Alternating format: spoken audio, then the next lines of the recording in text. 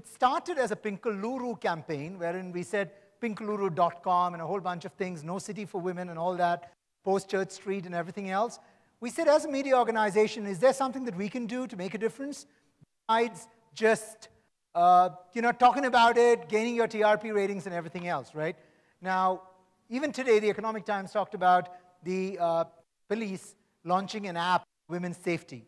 Uh, Modi launched an app a couple of years ago called Himmat around women's safety. We understood that from Mr. Praveen Sood when we discussed this whole thing with him a couple of weeks ago, uh, our Commissioner of Police.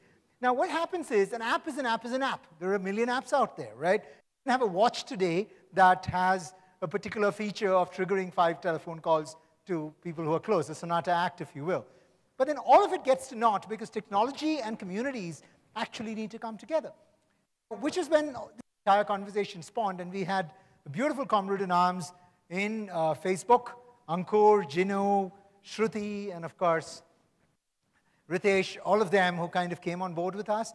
We said, how can we get people onto one common platform where even if 0.1% of our entire population, right, 1.3 crore people, 0.1%, 13,000 people, if they, men and women, sign up to be just there, you, you, saw that initial video, I don't know how many of you got the exact sound bites, but to be just there when there is a particular crisis, like Lakshmi's topic was bang on, it takes a village. We have a trend towards going back to basics in the food we eat and our lifestyle and everything else, but we never felt that it was necessary to go back to basics from a community perspective. So that's going to be at the core of the conversation. I'm going to quickly run you through the app. So to begin with, what we have is a first perspective of police stations, hospitals, and pharmacies. So this is what it looks like. You have an SOS call that goes to 100. We are integrating that as we speak into the police helpline app.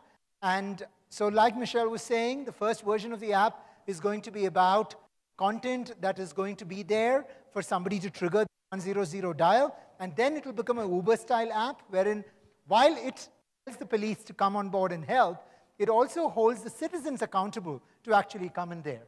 So this is what your home screen will look like. There's a whole bunch of content that can kind of gets cascaded from Newsable. This is the location finder. And we moved on to the, the third tab, which is the, the marketplace tab.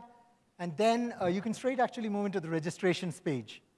So there is a registration page. One of the questions that, in fact, Shruti was asking to begin with was, or and even Hema was asking me, how is it that we verify that these pink Samar Samaritans are going to be the right guys? That they themselves are not predators, if you will, you know, uh, wolf in sheep's clothing.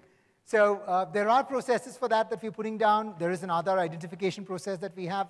We are making sure that there is some level of validation. But then at the end of it, what we do is basically create a platform where people come together. And at the end of the day, it doesn't stop with the app. It is about a movement where we create a sense of community wherein people understand that we have a sense of ownership to the women in our societies.